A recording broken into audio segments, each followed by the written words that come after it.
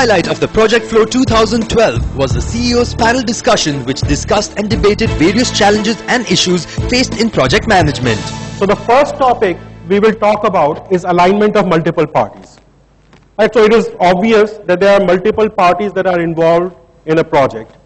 But the business interests of these parties are not necessarily aligned with the interest of the project. So what we want to hear from the panel, and we can go one by one, is what has been your experience with LDs and incentives?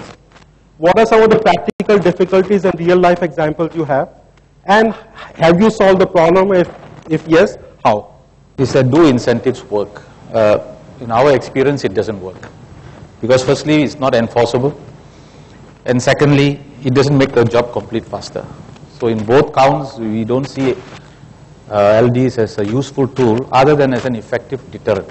And we try to keep it only as a deterrent. in terms of practical difficulties in trying to enforce, we find that we should have, we have a two-step approach. The first step is to put a deterrent in place, which is the LDs. The second thing we do is we want to have step-in capability. Now, we realize in the market today that uh, subcontractors or vendors don't have the full capabilities. They're all stretched for growth. And most of them are overcommitted because of the extended growth. Either they're financially overcommitted or they are capability-wise overcommitted. So our approach to dealing with our vendors and our suppliers and our contractors is that we always have a capability to step in. Or we take a multi-vendor approach so that we have some level of risk mitigation in case one fails. And through that approach, we try to see that, you know, if somebody fails, we are able to step in very quickly and don't let the project suffer. Because ultimately, our clients expect that we deliver. And as much as we try to take risk downstream, it is realistically not possible. We have to carry most of the risk. Careful selection of partners, sharing our vision or goal with them, helping them when they need the help. Because there is a limit to which you can take the risk down to the last person who is working on the project. There's a LD risk. I cannot keep on passing it to the last guy on the project. So we have to make everybody who's part of the project successful. And our organization has done great, great job in achieving that in training not only our people, but also training the people, the employees of our subcontractors.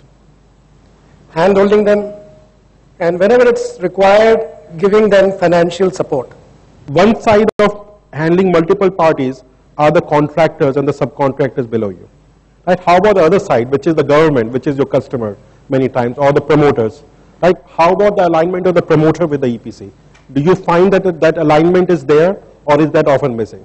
Incentives in general, uh, they sound very good, um, but I tend to agree with what was said over there in, in that what happens is, again, you face change, you face issues in the project. Your ability to earn that incentive goes away. So if your customer doesn't carry on in that, that spirit of participation, then the incentive becomes valueless anyway.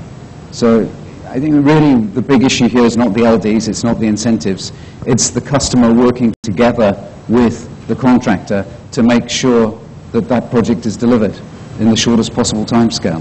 Are the government policies in terms of how they award these contracts, are they aligned with the interests of the projects? No, not no, no. Pre-qualification processes need to be uh, tightened up. I, Okay. find, I find it very difficult to understand how you can have such long lists of contractors Yeah. who are put up to bid, agreed to be pre-qualified to bid for projects. Yeah. When you look at the size of the project compared to their revenue, it just doesn't make sense. If you're, if you're bidding for a project that is, that is larger than your annual revenue, then someone needs to look at that very closely, because how are you going to scale up to do that? My personal opinion here is uh, India is going through a growth of about 8 to 9 percent. Okay. Um, not many countries uh, see this, okay? So to say that we are not competent to handle the project with 9% growth sometimes is very difficult to chew on. Uh, the second big opinion for me from my personal perspective is that while we talk about 9% growth, some of the bidding processes that we are talking are still carried over the last 20, 30 years. So we are still dealing with the same dilemma of the 1980s while working in the 2012 where the schedules have now almost gone from, you know, three years to say 12 months. um, what are we doing to change this whole process? Okay, is this EPC industry by itself has any say with CII or with anyone else where government approvals, when we go into a project, we are always in a rush to do the, or say that we are going in a project. We don't have the right of, right of way in most cases. Construction always struggles to find where they can construct and where they cannot construct. And I think once you start on the wrong foot, you basically are firefighting through the whole cycle. And then we start putting blame game on each other. The end result is we as contractors suffer the LDs because to us, LDs is a sure way of losing the money. So before we start, we, when we do the bidding process, in our risk management, we have considered full impact of LD. Then comes incentives. When I put my risk management and I send it to the risk management committee, the first question is whether you're going to see these incentives.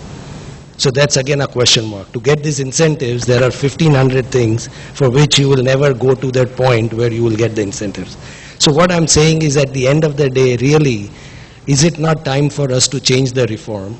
Is it not time for us to understand why as a country we are not able to penetrate and deliver the projects when the same people in this room, when we work on overseas projects, okay, most of us has been in overseas projects at some point in time, whether it's in engineering, it's in procurement, or it's in construction.